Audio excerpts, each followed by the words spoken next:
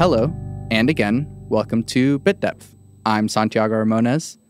Across from me, through the power of the internet, is BJ Mendelson. cool. So, uh, who who are you? What do you do? That's a that's a great question. I am probably the only person on planet Earth who can say they've worked as a mall Santa and also spoke at the United Nations. Uh, so I am a, uh, a world-renowned speaker and author on the subjects of you know privacy and social media and word-of-mouth marketing. And uh, more importantly, to me anyway, is I am also a comic book writer. cool. um, so, which of these things do you consider to be your sort of main thing that you do? I'm trying to push more into just the comics work. Uh, we'll see what happens. You know, I, I'm starting the publicity push for uh, a national story of minor significance, which is a self-help comic book. Hmm. Uh, and depending on how that goes, I'll, I'll either keep pushing on that front, or I might have to go back and write another serious book. We'll right. Um, so I've been reading a little bit of uh, uh, social media's bullshit. Um, Okay. So I guess one of my usual starting questions is how did you start doing what it is that you're doing? But since you have kind of this varied range of mall Santa and, and speaker and comic book writer, so I guess how did you get started? I, I should mention I also applied recently to uh, to be the MC for uh, a pig racing contest. so my dad is not a fan of that idea, so I haven't pushed too hard on it. But uh, just, I guess you know the, the reason why I mentioned that is you know when I was a teenager, I wanted to be George Carlin, Mm, and I realized very quickly, just from you know, I, I read every interview that he did, I listened to every interview that he did, and he was constantly saying, you know, the best way to be a good comedian is to get stage time and just keep doing it over and over and over again. right. And so when I was 18, I figured out, okay, I am going to uh, book concerts uh, because I'm too young to get into bars. Uh, to be, you know, like you know, if you're in upstate New York, to be a comedian, you know, it's, it varies state by state. But in New York at the time, uh, you had to be 21 over to come in and perform at the bar. right. The, the loophole was if you rented out the bar, you could do whatever you want. Sure. And so when I was 18, I figured out, okay, uh, so if I like book concerts and I pre-sell tickets along with the band, then we'll have money to put on a show and I can do my comedy and they can play their music. And so uh, that's what I did. I did like 55 of those up and down the East Coast.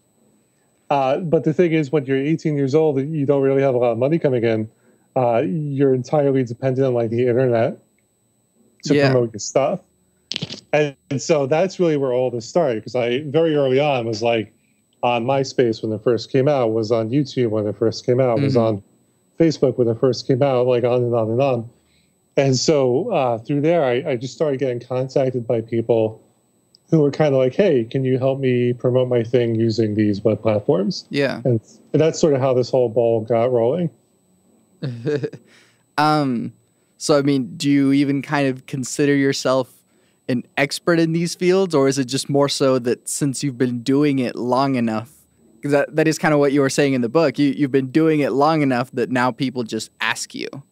Yeah, I think that expertise is a weird thing. uh, especially in in the humanities or any field where it's not technical, you know, where I can't like measure. Uh, for so for you know, for example, you're at a music school, right? yeah. Uh, so I have a, a baseline to measure whether or not someone's like truly an expert in their specific instrument. Exactly.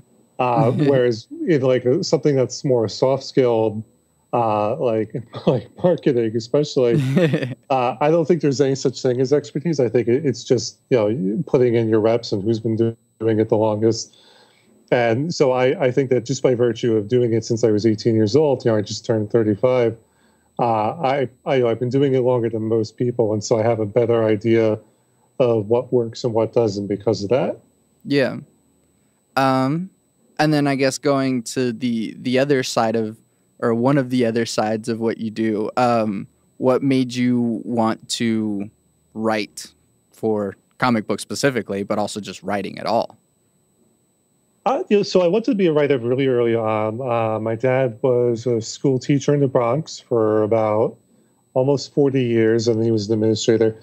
Uh, and I, I mentioned that because he there was always books all over the house. You know, like I was in elementary school reading Tom Clancy books. uh, so, which is not like the, the best thing for someone in the sixth grade to be Right. reading uh, for a lot of reasons. But uh, pretty early on, I was like, okay, you know, I, I kind of get this. I, I, I think I can do this for a living. so I want I wanted a creative outlet, and so I took to writing. And uh, in high school, I had a website go viral. Uh, in like the organic sense of something going viral, not Right. you know, in the way in the way that like if you post a cat picture and it blows up, and you know the next thing you you tweet out has maybe like two responses to it. sure. Uh, that's what I mean when I say like go viral so uh, I had a website that blew up, and everyone said it was really funny. So uh, I just kept at it, and that's really what what kept me going. Was I realized that I can entertain people Mm. by being a writer. Yeah.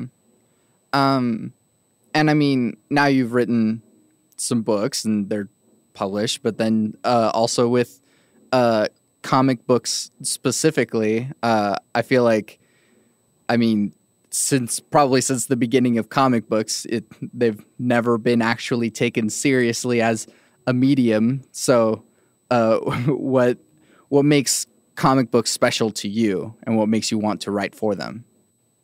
Ah, there's it, there's just multiple ways I can answer this. I'm trying to decide like which one. Uh, so I'll give you, you two things. The first is that I think, in terms of where we are today culturally, that the the stigma that used to be attached to comic books is it, it's still there, but it's Yeah. faded.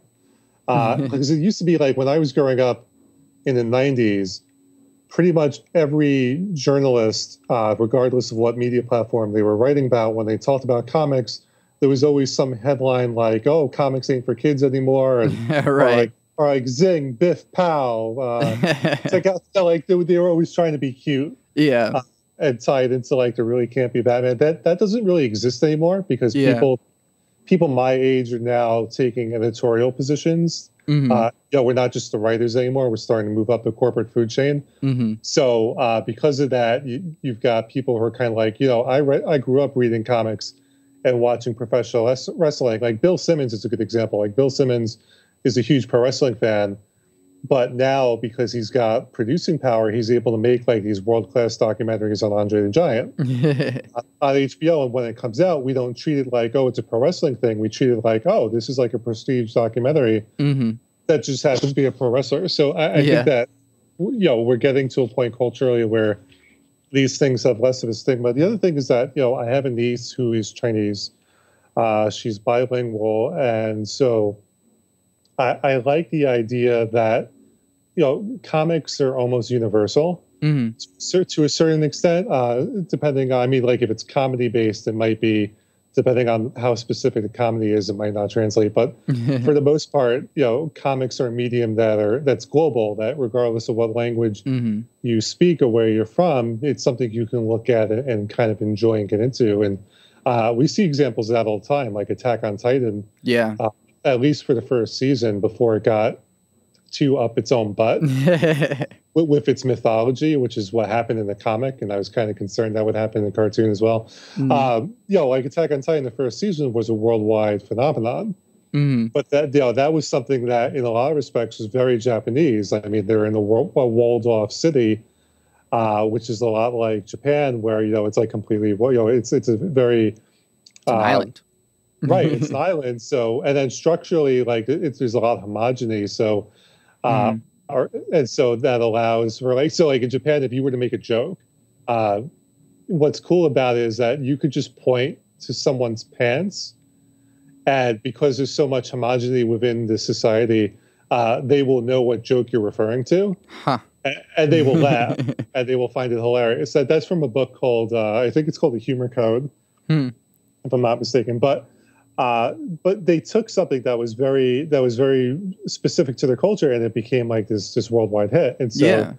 uh, I think that comics allow you to do that in a way that you really can't with just the written word. hmm Um, and there is also like another layer to comics that I mean, yes, nowadays we have these gigantic blockbusters like Infinity War that are based on comic books, but you right. know, you, you still have graphic novel experiences, the the anti superhero comic like uh, Watchmen, or even just I don't even know how to describe Maus, uh, but right. uh, so th- there is a, a range of uh, stories that you can tell through comic books. So what is sort of what is it that you're going for with your uh, writing and in in comic books?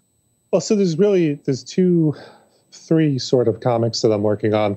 I say three sort of because I just did a preview for the third one. I haven't really uh, pushed it too much, but one of them is just a straight up superhero adventure, and it was really just my way of writing something that I just enjoyed. Mm-hmm. You know, I, I grew up with that stuff, so I thought it'd be fun to actually do it uh, and, and, see what the response was. But the other thing was, you know, self help is something that I started to research for my third book, or fourth technically, because I for the book. Uh, and I realized that like everything that's that, that needs to be said in the self help genre, genre, has been said already. Mm-hmm. But it hasn't necessarily been said in a comic book format. Right. Uh, and I thought that that was really interesting. And so, because comics allow you to to really do anything you want, yeah, I was like, what if we did a self help comic book? And I don't know if it's the first. I'm sure someone has had the idea before, but uh, it's. I, I think that what I'm doing is one of the earlier versions or one of the earlier works in the field of like self help comics. And so I was interested in seeing what I could do with the medium and, and how because uh, like for example in, in the national story of minor significance what it, what it allows me to do instead of just telling you an anecdote and then telling you uh, what you should learn from that which is the basic format of every self-help book because it, mm. it's from the bible uh, the sermon on the mount which is what they're basically copying mm. like i could literally go inside my own head and show you like a visual depiction of like baggage you know of like stupid stuff that i'm holding on yeah. to from like high school uh, and I can show you that on the page of a comic book, and, and visually, you it's something that you can understand quickly, as opposed to me spending pages describing it. So that's mm-hmm. that's really interesting to me, and that's sort of what what drew me to doing that sort of thing with uh, a national story of minor significance. Yeah. Um. So, and then I guess again, trying to go through all the things that you are attached to. Um. So I I never grew up uh, watching wrestling uh, sure. Yeah. And so I don't I don't understand it. You know, like there there's from an outsider's point of view, it's it's ridiculous, right? right? Um so so how would you explain wrestling to an outsider to make them be like, "Oh, okay, I, I can see why people like this." Well, there's a couple. There's a couple of ways, right? So the first is that, and the first, and I've noticed people echoing this talking point so I'm kind of excited because I was one of the first people to, I'm not saying I was the first, but I was one of the first people uh, who was saying that pro wrestling is just a live action comic book. Mm. Yeah, yeah, in a way. once you once you look at and then there's there's some shows that embrace that. There's like Lucha Underground, which is the most ridiculous of the different American wrestling shows that are on the air because it's a it's taken the Mexican lucha libre style uh, and it makes it look very cinematic. Mm. Like it's almost like a Quentin Tarantino film that just so happens to have wrestling as a part of it. Uh, and so th- there's that aspect to it where I just say it's a live action comic book. And once you can look at it that way, you realize, oh, okay, this isn't like a pretend sport. You know, it, it's a story, it's a yeah, drama. Yeah. It, it just so happens to take place within a wrestling ring. The second way to look at it is that it, it's one of it's a very unique American institution. Yeah. Uh, yeah, it traces its lineage to like the 1890s, probably a little earlier than that. Uh, it, it's it's embedded in the culture so much that Abe Lincoln was a wrestler.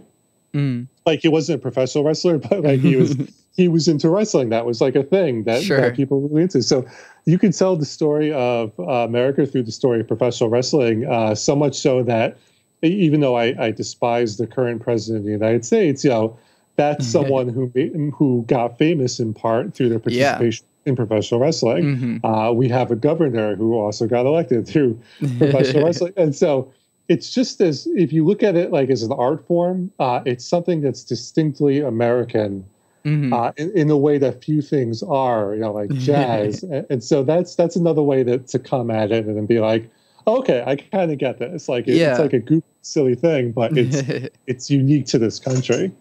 Uh, another way that I've heard it described, it's sort of like it's a soap opera with with fighting in between.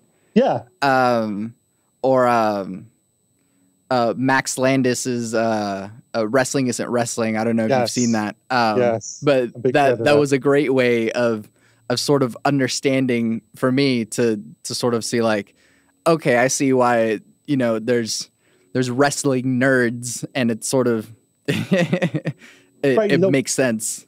If you're a writer, I mean, just put aside that it's professional wrestling for a second. right. There's no other medium where you can continuously tell the stories uh, of both a real person and the performer and watches those two things intersect and change over the course of like 20 years mm-hmm. which is what max landis was pointing out yeah. you know he was he was showing you the continuum of uh, of triple h's real life career and story career and that that's that's very unique. Like that's not mm-hmm. something you can easily reproduce in other forms. I mean, if you tried to do that in a comic book, it would be really confusing. Right. Yeah. You know, like if you tried to do it in the movie, it would be really confusing to the point where you would lose a lot of the audience. But mm-hmm. in professional wrestling, you're able to to tell this long, ongoing story in, in a very unique way, which which I'm fascinated by. Yeah.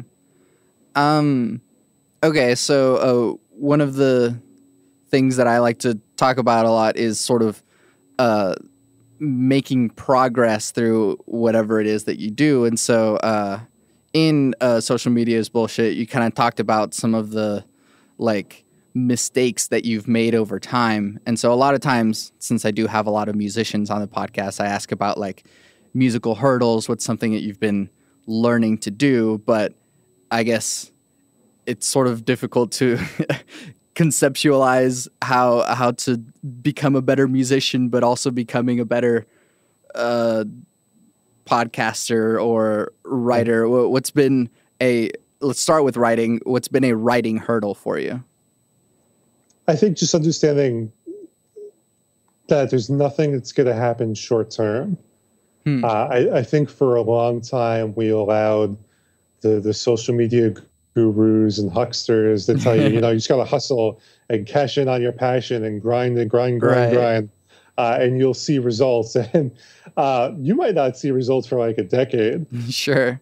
You know, and I think that that's a very hard thing for people first to realize because, especially, I, well, I shouldn't say it's an American thing because it's very, it's more a Western thing, uh, where we're because I used to walk around saying it's an American thing, and then I traveled and heard in uh, in Russia, and then there was people from Brazil, and then there was people from the United Kingdom that all kind of told me the same thing. So uh, I, I, guess in the West, you know, we're we've become increasingly conditioned to instant results mm-hmm. and instant gratification. So uh, and a lot of the advice that we get is, you know, if you work hard, you'll see results. But sure. it's not really the case. Like it's you work hard and maybe maybe someday out of the blue, an agent will contact you and say, "I like your stuff. I would like to sure. sign you." And that's what happened to me. You know, I was writing funny stuff on the internet from 1998 to 2000, let's say 2009. Mm-hmm. And then out of the blue, Dan Mandel from Sanford J. Greenburger emails me. He's like, "You're really funny. I'd like to work with you." Mm-hmm. Uh, you know, but I couldn't. But I. But if you look at it objective, like if you look at it yeah, objectively, mm-hmm. I wouldn't have gotten to the point where I was good enough for him to invite me to work with him. Sure, yeah. Had I had I not kept at it, mm-hmm. you know, like had I started and because what happens is a lot of people just quit. Like for podcasts in particular, you can see this where there are tens of thousands of podcasts, no exaggeration, right? That that started and then gave up after like three months. Sure. uh, you know, like they just get, or maybe six months, like they just gave up and walked away. Mm-hmm. But by continuing to work at it, you're becoming better and better every day. You just don't see it. Right. Uh, but I realized that putting in that work over, like, if I showed him my work from 1998 or even 2004, there's no, there's no way he would have worked with me. Sure. You know, but because I kept at it, because I kept publishing every day, uh, I, I, got to the point where I was highly skilled at, at writing and writing a certain way, and that's mm-hmm. what attracted them. So I think that's that's the hurdle. Yeah, people give up too soon or too quickly, and they just don't realize that it's a long journey. And uh, you know, like Lewis Black was on uh, Deuce, uh, Deuce and Romero, I think their names are mm. on Vice. Uh, I can't remember the other guy's name, but uh, Lewis Black was on there, and he's like, you know, I didn't make any money until I was forty. Yeah. and I kind of, uh, and when he said that, I was like, you know, that's I'm I've heard this over and over and over yeah, again. Yeah. Like George Carlin was broke for a really long time. Mm-hmm. He went broke twice, in fact, because he owed the IRS like millions of dollars. uh, and by being broke, that's what pushed him to do the HBO specials and to constantly mm-hmm. get on the road. So I think people need to just understand how long this stuff actually takes to pay off, if it ever pays off at all. Yeah. Um, I'm going to make a mental note of that for us to discuss later. But uh, right. Um, yeah, and then so talking about like sort of your your passions, uh, what is what is your favorite part about? Um, I mean, you talk about wanting to make people laugh, uh, but that's different because you're you're a little bit separate from uh, the the stand up point of view, which which is again a, a, sort of instant gratification sort of thing. You tell a joke and then the people laugh, but right. you you have the the wall of of writing something and then just kind of eventually later you find out that people laughed. Uh, yeah, uh, like that's been a weird. That's always been a weird thing. Uh, like I'll get people who are just now reading social media is bullshit, mm-hmm. uh, who will text me about a joke that I wrote uh, like in 2011. so, sure. So it's not it's not quite a decade yet, but like the joke is old enough where I don't remember don't remember it. Right. Yeah. And then I'm like, wait, did I say that? Oh shit! um, like I just completely. Uh, yeah, like it, it's a little strange especially in comics and, and in books. Books mm. in particular is incredibly slow. Uh, I will get back to doing stand up. I know I've been saying that for a long time now, uh, but I haven't been in a place where I, I can make the transition easily mm-hmm. until recently. So now I feel like I can start uh, doing that again. But yeah, it is a little tricky to to write a joke and then not hear the punchline for like ten years later. right. Uh, but you know what? It's rewarding because what it tells me is that you know I read. Uh, just in the past three months, I've gone through about 32 books or so. Mm-hmm. And honestly, I'm probably only going to remember like two of them. Sure. Like, like realistically, I'm only going to remember two of them. Mm-hmm. So for someone to message me ten, almost ten years later about a joke that I wrote, yeah, that's great. I'll take yeah, it. Yeah, I'm totally fine with that. Um, what is, I guess, your your favorite part about making people laugh or smile? I realize that that's sort of all, you know, so I, I should back up. I'm, a, I'm an atheist. Mm. And so I, I, always tell people I'm an, I'm an atheist who loves Jesus. and so what that means is I think Jesus was a pretty cool guy with a lot of good things to say. Mm. I, I just don't buy into like, you know, the, the, um, the, the very spiritual aspects that, sure. that go, go with that. Um, and I, I, think that's important to mention because I, I, find a lot of atheists to be antagonistic mm-hmm. wrong, wrongfully so. Uh, I don't quite understand why they're so antagonistic, to be honest. I think religion is wonderful. Um, but I mention that because I, I, you know, I, I have a very practical outlook on life, uh, which is the only real reason that we're here is to make the world better for the next generation. Right. Yeah, like that's that's our purpose. That's our whole mission. And as long as we're doing that, that's great.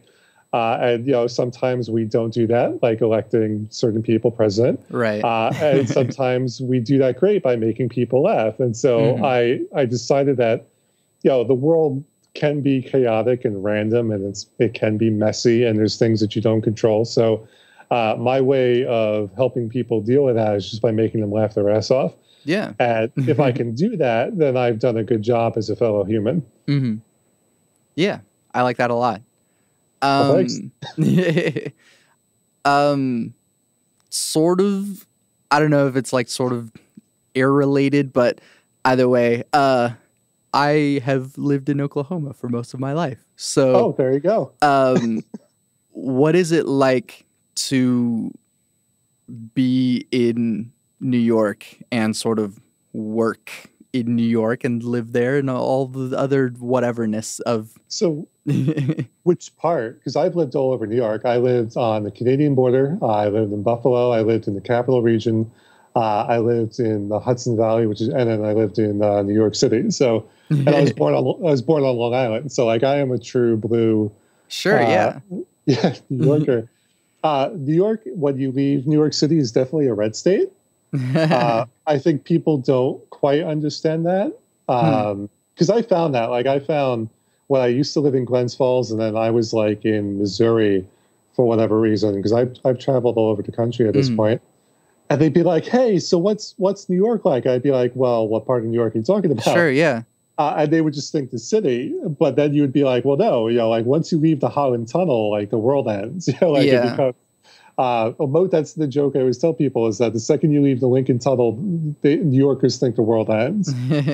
yeah, because it's like a completely different. Yeah, planet. exactly. Um, so it's it's it's fascinating to watch the interplay between New York and then like New York, with you know, like New York City. yeah, Uh, yeah. I, I'm assuming you're talking specifically about New York City, though. Uh, I suppose, yeah, but it, it Okay. is important to to highlight the difference between just, I mean, all of the neighborhoods and the titles for every different place that becomes its own culture, basically. Yeah, you know what's I'm fascinated by how different the people are in Mhm. different parts of New York. Like if you go north past Albany, they're very very much of New England. hmm They they don't quite have the accent that people think when you think of New England, but uh, their attitudes and mentalities are much closer to as if they were from Massachusetts than if Mhm. they were from like New York City.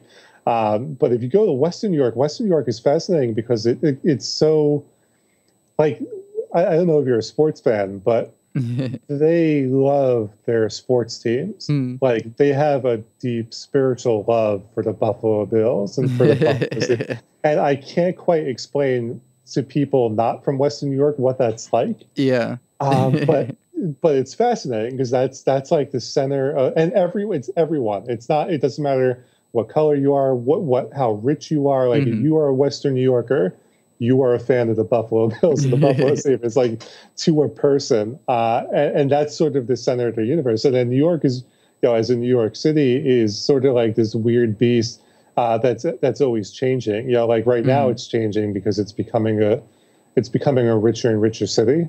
Mm. So, you know, my mom and dad, uh, my mom was born and raised in Brooklyn. My dad was born and raised in the Bronx. My grandparents were Bronx residents their whole life. And my grandparents on my mom's side uh, were Brooklyn residents for most of their life until they went out to Long Island, as did most Americans, because Long Island was the first suburb after Mm. World War II. So they were part of that that uh, wave of of movement. But, yo, like in a lot of respects, um, you know, they're true blue New Yorkers. And so, the New York City for uh, my mom and dad is completely different of the New York City that I had. Mhm. Yeah, like it used to be um, when I first started going into the city when I was little.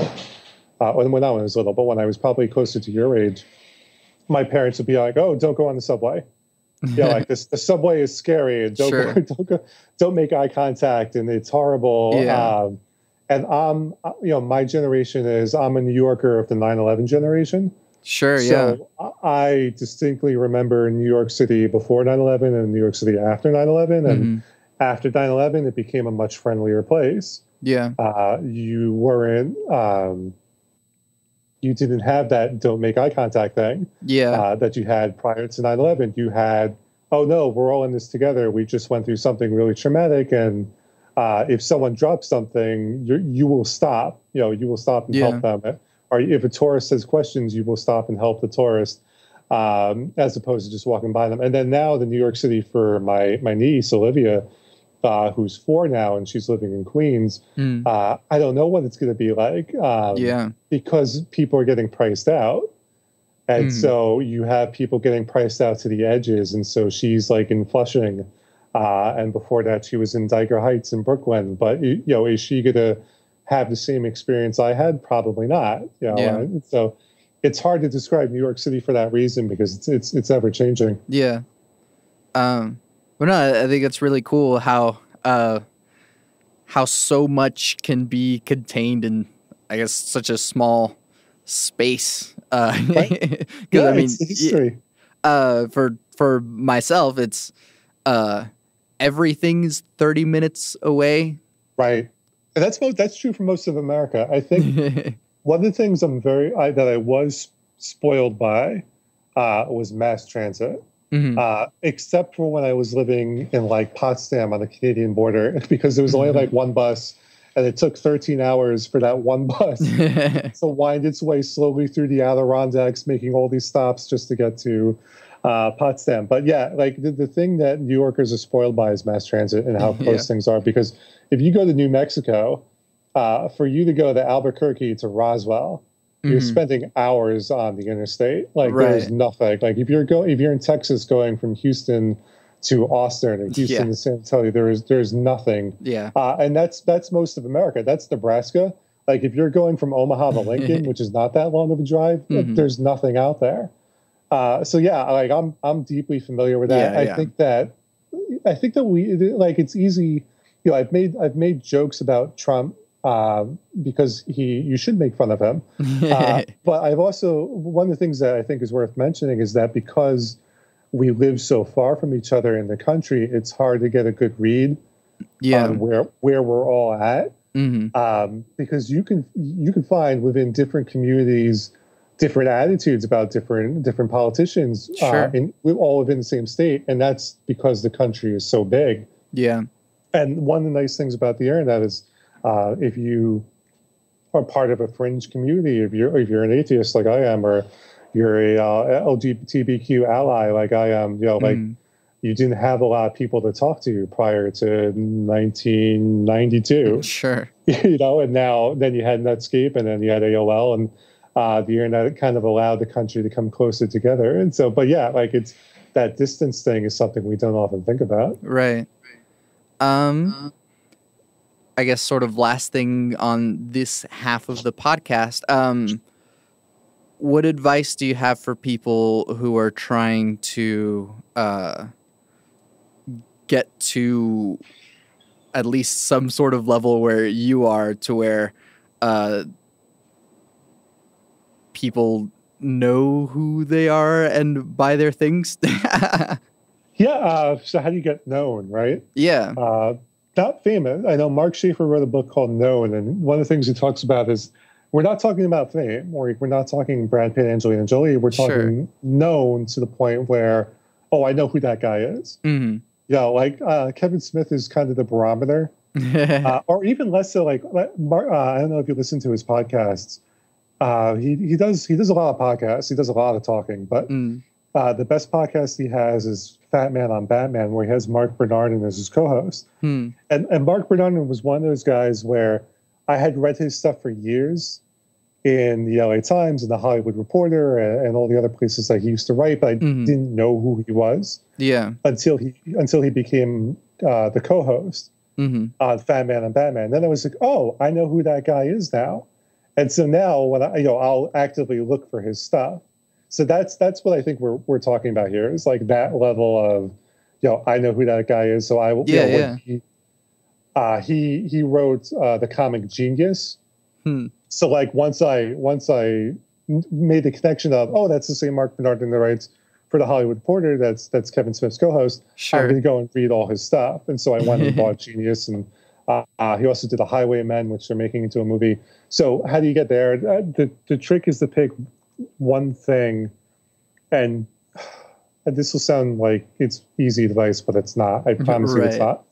The the trick to it is picking one thing that has a large enough audience behind it, mm-hmm. and at the same time that you're focusing on being very good at that one thing, you're building up a network within that community. So, like mm-hmm. right now, I'll give you a great example. I am writing uh, that comic I mentioned, you know, I, said, I mentioned three and a half comics. Mm. Uh, the half comic is mm-hmm. called Jobbers, which is a comic about women's professional wrestling. And so, mm. what I've done is starting from zero, because I don't know anyone in the women's professional wrestling community. Sure.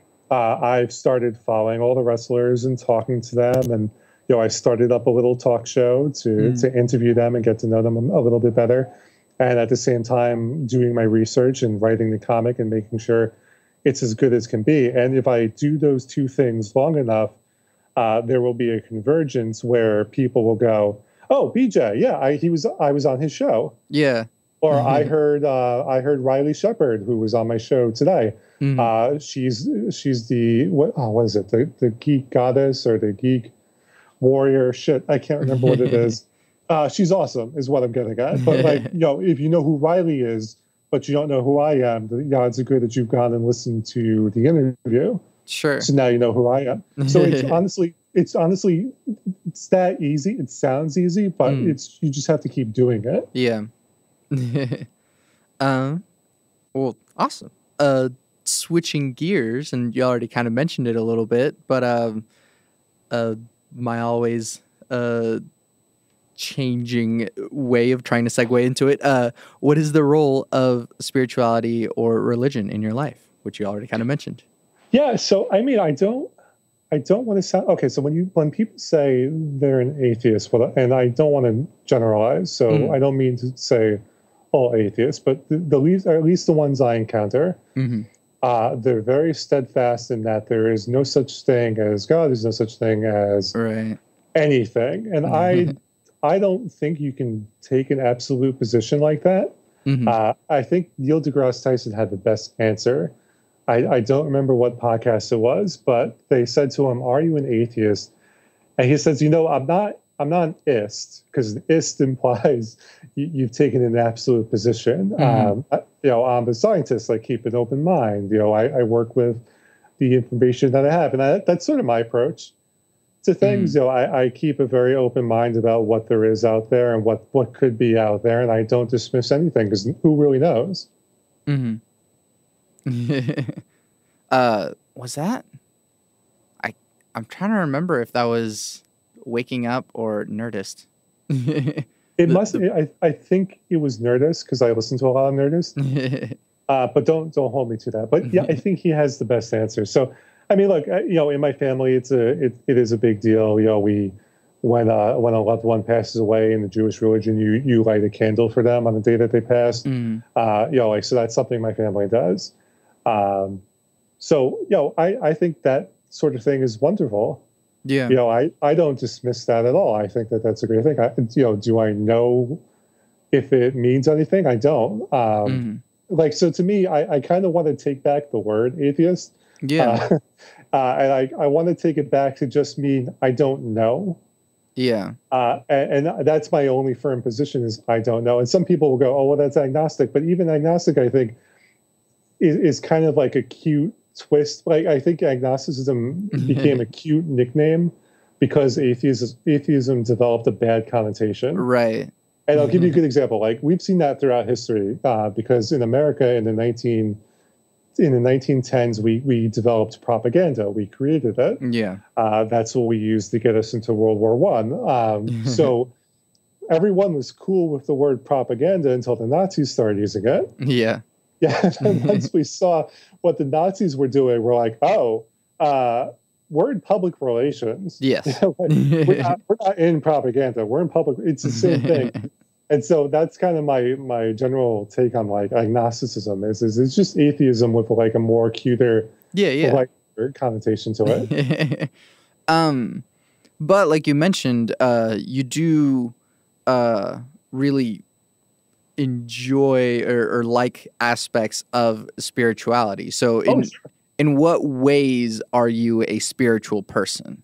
So uh, I am a big fan of Alan Watts. Uh, Okay. And I don't know how to describe Alan. Like, so it's you know what's crazy is that he's one of those people that uh, generally generationally, like you and I shouldn't know who he is. Mm. But if you say Alan Watts to like a baby boomer, yeah, the, the boomers all know who he is because Mm. he came out of the 60s and 70s. He, he described himself as like a stand up philosopher. Mhm. Uh, and so what he did was he took a lot of um, Hindu and Buddhist beliefs uh, and introduce them to Americans Mhm. in a way that was that was funny and accessible and also very thought provoking. Mm. Uh, and so that's that's sort of what I would gravitate to. You know, I was reading an interview in the Hollywood Reporter where where Jim Carrey is saying, "Well, there is no me." Hmm.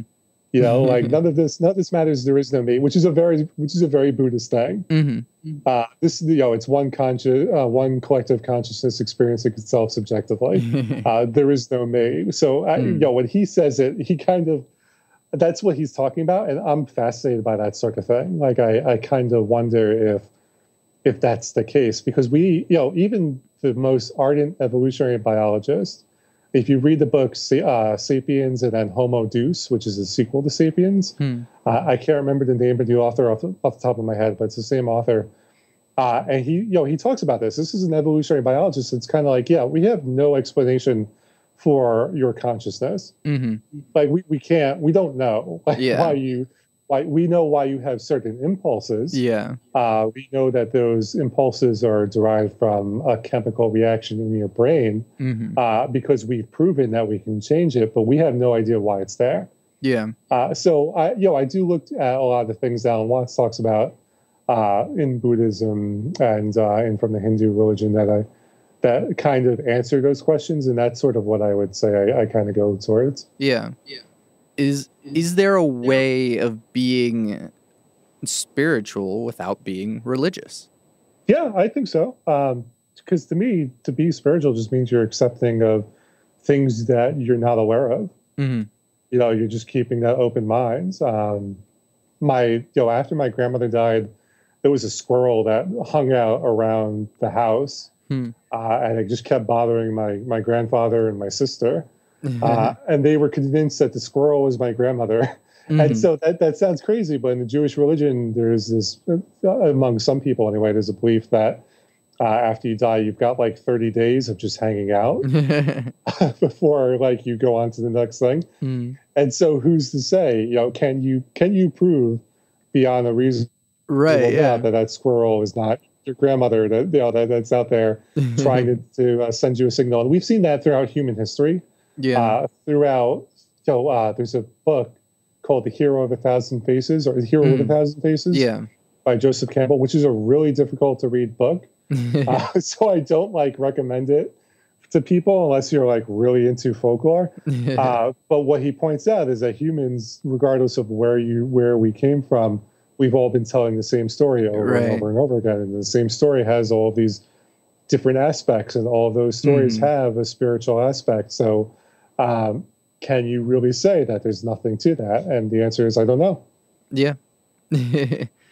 um, and sort of accompanied with spirituality and religion comes the sense of morality. And so being a, a spiritual atheist, uh, how do you, uh, where does your morality come from? Uh, so, in the past 200 years, and this is something that uh, they talk about in Homo Deus, which I do actually recommend. Do recommend people read that. That's that's a good read. Uh, he talks about the rise of humanism Mm. and the you know like not everything has been good that's come out of humanism. Uh, you know, like the Nazis are an extreme. Uh, you know, if you take humanism to an extreme end, you get like totalitarian totalitarianism. right. Uh, but if you take humanism to the other extreme, you get um, not quite Buddhism, but you kind of get like this almost hippie, like, hey, we're just humans. We've all decided to take care of each other. So that's our uh, that's our moral center. Mm. Uh, I have a joke in a National Story of Minor Significance uh, where you open up the cover and I like I have these different like tips for life. Mm. And so uh, it says, don't be evil. And it says, tip number one, uh, don't be a dick. And so that's sort of like my guiding principle yeah.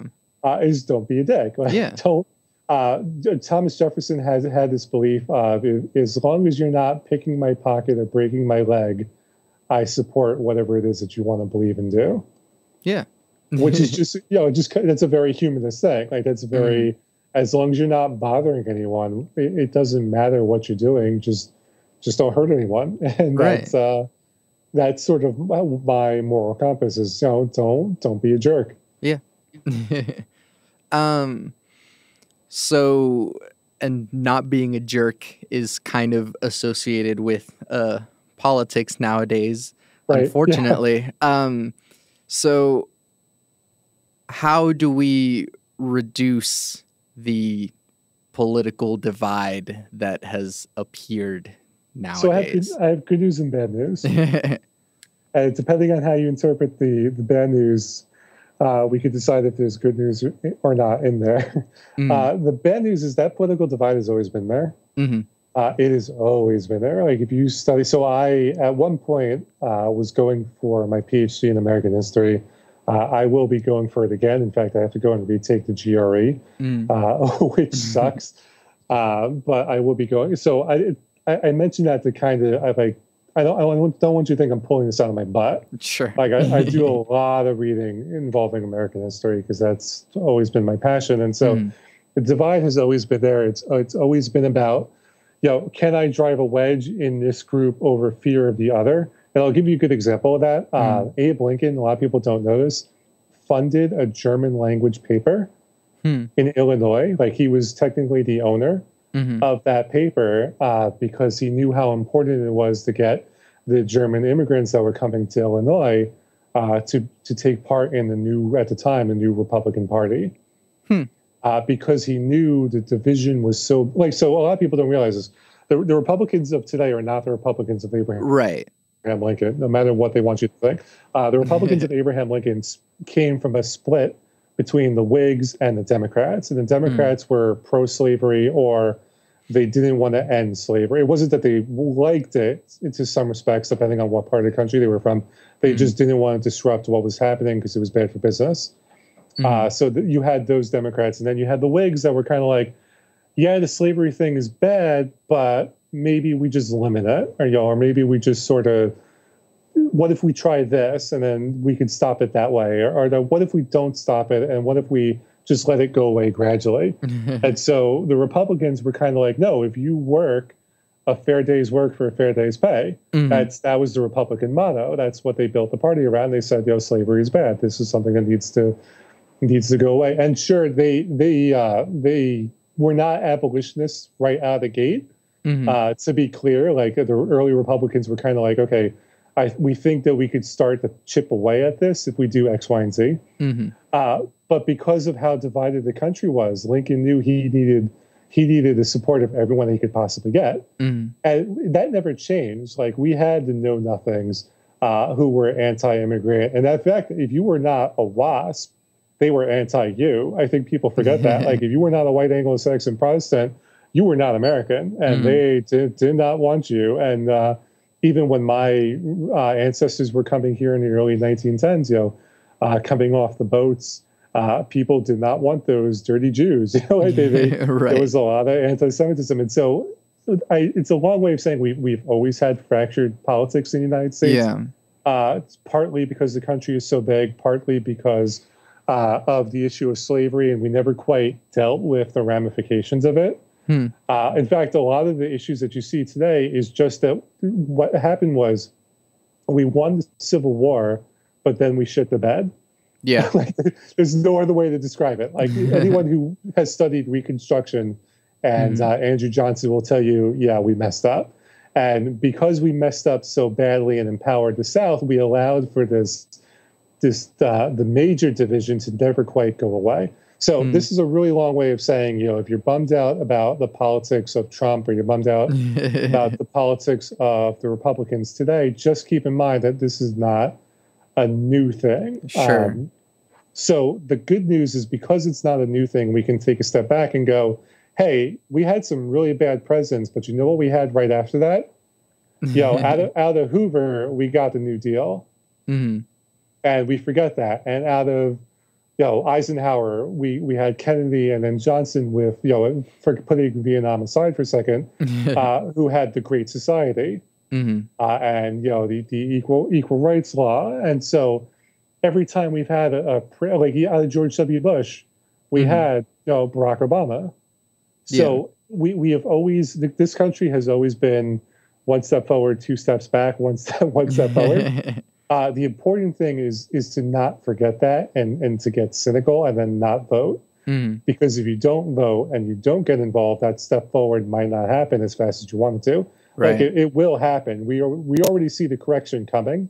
Like you can look at uh, Ocasio Cortez, hmm and she's like definitely the harbinger of uh, the next step forward, which is Right. very which is very exciting. Mhm. Uh, but unless we keep pushing, then that step doesn't happen. So I, I think that that's what the good news is. The good news is, as bad as Trump is, as bad as it is now with the Republican Party, that we will take a step forward after Yeah. this. Yeah. Um, two sort of straightforward que- straightforward questions that I sort of forgot to add Sure, near the end of the the spiritual part. Um, so first of all, uh, God question mark, or rather, what is your definition of God? I think it's something that that's beyond the realm of human knowledge. I, I don't think, as a species, that we should be so arrogant to assume that we know everything. Mm-hmm. you know and so that's sort of my I, you know i was a big fan of futurama and there's an episode where bender gets bender gets lost in space Yeah. and he encounters what he thinks is god Mm-hmm. Uh, but he never really gets a, de- a definitive answer so, so what it's just like this crab nebula that's talking to him mm-hmm. uh, I, I think we have no idea of what's actually out there Yeah. and um, i think that's wonderful i think that's exciting Yeah. because look at all this look at all the stuff that we didn't know 100 years ago that we know today mm-hmm. Uh, I think about all the stuff that we're going to know 100 years from now that we don't know today. Right. Uh, yeah. So there could very well could be something out there.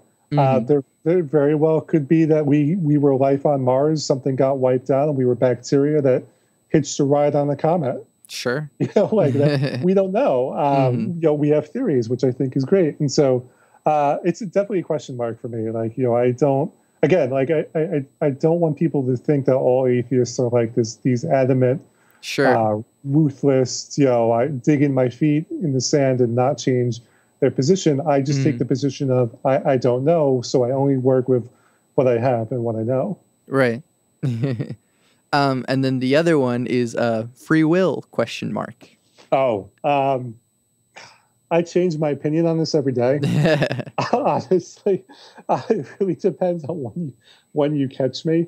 uh, I would very much like to believe that free will is a thing. Um, if if you are an ardent Buddhist uh, and you believe that everything it, it's all one conscious experiencing itself subjectively, uh, then you definitely don't believe in free will Mhm. uh, because you're just kind of going along for the ride. like, um, if you are an ardent evolutionary biologist, you're also not a big believer in free will Mhm. because you'll say, uh, because of the biochemical reaction in your brain, even though we don't know why your, your consciousness exists, we uh, we have like we we have empirical evidence to, to show you why your cat is so cute. I could show you that the cat has evolved over time to become increasingly cuter, so that we will take care of it. exactly. Yeah, like so. I don't know. Um, it really depends on when you catch me. I, I'd like to believe that there's something like that, but I, uh, you know, on most days I, I probably lean against it. um, so only, I guess, two more questions. Um, what makes you happy? Oh, um, well, I almost died a few years ago, Okay. uh, and so everything, everything is the honest answer to that. Um, I just enjoy everything, and I know Mm. that that sounds kind of like uh, very vague, but uh, that it's sort. That's just sort of how it is. Like I, you know, it could be a car commercial that was just funny uh, that I could really enjoy, or it could be a good book, or it could be a good conversation, or it could, it could be a good pro wrestling match, um, or it could just be um, that someone was wearing a really pretty dress that day uh, and you know, or someone was beautiful. Uh, you know, like it, it's honestly everything. Because you, I think the thing you find out when you almost die is, oh crap, you know, like, this is this could all be over in like a second. Right. Uh, so I am just going to take a step back and chill, and uh, enjoy everything that I encounter. yeah. Um, I don't think I can let you just skate by and say that you almost died and not ask about it. So, Sure. how did you Uh, almost die? so I had um, so I have a condition now, but I had something before called mitral valve prolapse uh, that was really severe. Uh, we just had no idea how bad it was, and it got to the point where I was out in Wales giving this presentation, and I had like a hundred degree temperature, you know, a hundred plus degree temperature. Mm. I had chills. I like almost fainted. I did the presentation and I nailed it. I, I like that. that I- the show must go it. on. That's right. The show must go on. Uh, and then I like passed out for 24 hours. Uh, I then had like this really bad cough, and then um, I guess what was happening was I was experiencing the early signs of heart failure. Oh wow. Um, yeah, so I you know I came back. I, I made that flight back, which was hell, uh, from the from the United Kingdom to New York, and then rushed in to see the heart doctor. And he's like, "Yeah, you gotta go and get this fixed right now." yeah. So I went in for heart surgery. And it's supposed to be a pretty routine surgery, um, you know, as routine as As routine Heart as heart surgery. surgeries can be. Yeah. Like if you, I mean, like the, the, reassuring thing is if any of you ever develop something with your heart, there's really good news. Uh, By 2020, most of those procedures will be over in like an hour, Huh. and you can probably go home the same day. Like my, so my procedure had everything gone correctly, would have been like a same day procedure. They would have gone up through the leg, fixed the valve, and I would have been done. Mm. Uh, so they really made great strides with heart surgery. The problem is, if if shit goes wrong, uh, then they've got to open you up and really get in there and do all the stuff. Yeah, that. So they went in there and did it, and um, oh, it almost didn't work, but they got it to work, and then closed me back up. And then between surgeries, I had, I had a heart attack, um, Hmm. and then I flatlined and almost died. yeah. So they had to revive me with the shock paddles and then rush me back in for uh, an emergency surgery. So that's yeah, that's the long and short of it. Yeah. And so when you come out of something like that, you know, you definitely have a different attitude about things. Yeah. Um do you remember any of it? No. Um, so the funny thing was I um, I remember going into the surgery Mhm. uh, and counting back from 100 or whatever it was. And then Yeah, I woke yeah. up and then uh, I didn't realize I was in the ICU. Mhm. So I, you know, I, I just assumed that I was in like the waiting area or whatever it was, Sure. because I, you know, I wasn't really aware of my surroundings. And then on the board, she was uh, the nurse was writing the date, and she wrote, um, she wrote like July. So I went in July 13th, and she wrote like July 15th. Oh. It's- I was like, uh, that your is it what your date is wrong? And she's like, what are you talking about? I was like, it's it's it's the 13th, like it's the night of the 13th, right? She's like, no, you've been out for almost a day. oh, so um, I don't remember being shocked. I do remember the after effects of being hit with the shock paddles, uh, which is why which is why I don't remember. Like, because if you get hit with those things, it like zaps your right. it, it zaps your memory a Your bit. Brain that's is why- electricity. Yeah. So um, the, you know, one of the good one of the plus sides of getting shock paddled, right, uh, is, is not remembering a heart attack and almost dying. So yeah. So that's the uh, that's that. yeah.